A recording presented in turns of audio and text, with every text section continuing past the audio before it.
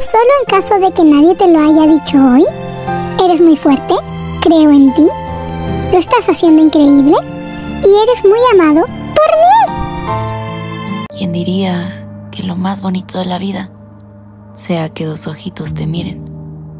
Que esos mismos ojos se mueran de felicidad al verte y que tu hogar sea alguien que nunca te ha dicho una palabra, pero de alguna forma lo saben todo.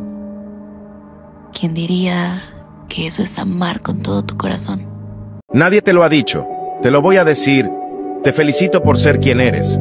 Otro en tus zapatos ya hubiera renunciado, pero tú sigues adelante, aunque te caigas, aunque te canses, aunque sean muchas las pruebas, tú vuelves a intentar después de muchas lágrimas y después de tantas decepciones, te levantas, te sacudes y continúas. Gracias por existir y ser como eres.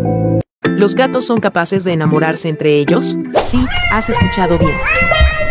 Aunque no es exactamente lo que pensamos cuando hablamos de amor, los gatos tienen su propia y encantadora forma de demostrar afecto entre felinos. Aunque los gatos no experimentan el amor romántico como nosotros, los humanos, sí desarrollan fuertes lazos de afecto hacia sus compañeros. Tanto es así, que muchos expertos en comportamiento felino sugieren que los gatos pueden llegar a formar vínculos muy parecidos a la amistad. Algunos gatos pueden mostrar una preferencia clara por otros individuos, persiguiéndolos para jugar, durmiendo enroscados con ellos y acicalándose mutuamente con mucho afecto. Entonces, aunque no podamos hablar exactamente de enamoramiento en el sentido humano, está claro que nuestros amigos felinos son capaces de desarrollar relaciones profundas y significativas.